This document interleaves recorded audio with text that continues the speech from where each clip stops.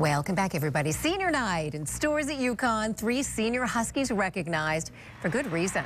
Pat Lenehan, a former walk-on from Cheshire who earned a scholarship, has a 4.0 GPA in, get this, molecular cell biology. Wow. Okay, he's been accepted to Harvard Medical School, among others. So unbelievably impressive. Ryan Boatright with his mom, dad, and grandfather, and a big hug for his former coach, Jim Calhoun. What a night. Speaking of, Jim Calhoun is in our studios this morning.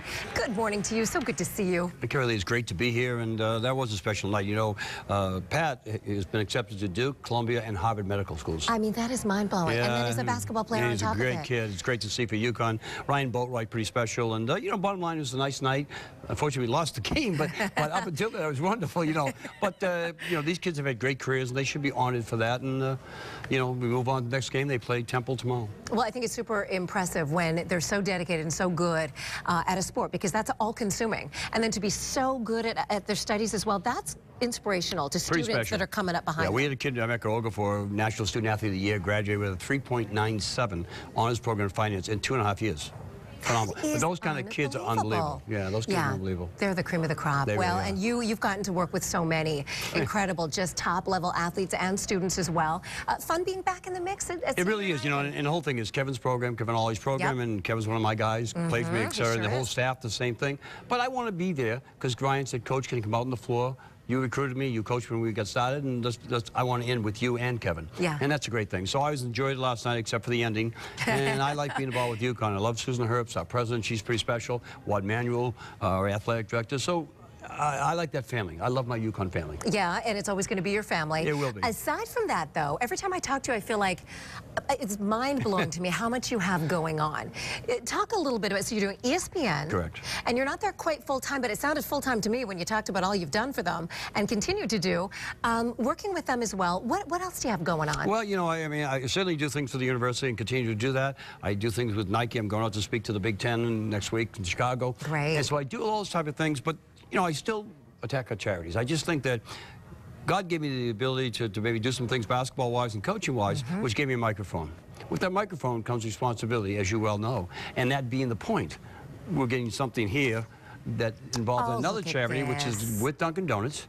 And Carrie Lee is going to be involved in something where it's called, we called it last year March Goodness, but it's a special, special thing, Kerry, where we get the opportunity to have you drive up to the drive-through or go in there, buy something for a dollar, and we give you a 99 cents coupon. So it's basically free and what you're doing is every one of those dollars that you that you subscribe to the Calhoun Cardiology Center, Pat and Jim Calhoun Cardiology Center, you're getting the opportunity to have that money go uh, to, to, cardiac research. And it's pretty special. Last year we raised 50000 in about a week.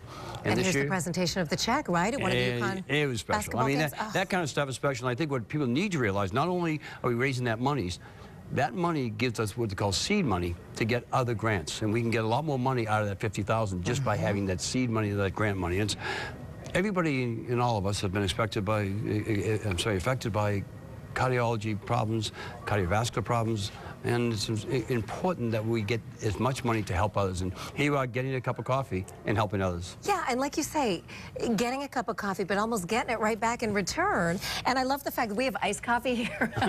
Either we're celebrating the fact that there's still ice outside, or we're celebrating the fact that it's going to be spring eventually, and we're going to want to cool down with a nice cup. Sometime. But if you go to Dunkin' Donuts, they've been a great partners to us, and this is just another area which we all can dig in. And I think that, that what happens is anytime you get a chance to make a difference, and you have no idea the kind of difference you can make mm -hmm.